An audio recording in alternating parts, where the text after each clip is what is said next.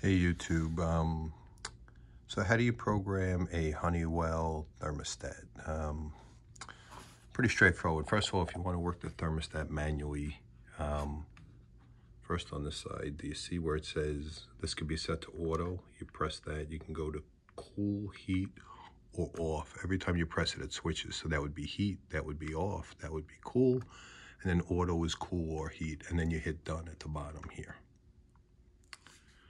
uh, in order to edit your schedule, you press schedule, you choose the days you want to edit. So in this case, I'm going to pick edit, but we're going to do Monday through Friday, and then you could choose your temperature.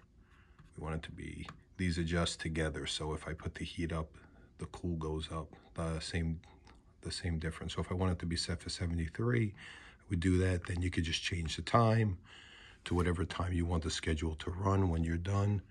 Choose Done. It will save your settings. And it's pretty much that simple. If you want to adjust the clock, you turn around, you choose clock, and you can adjust up or down. When you're done, you choose done. Um, and that's it. The only other thing is the fan. The fan right now is set to auto. You could have it on. You could have it set to circulate.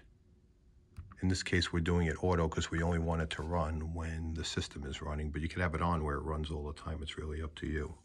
Anyway, it's pretty straightforward. Um, if you like this video, please give me a thumbs up and subscribe to my channel. Have a great day.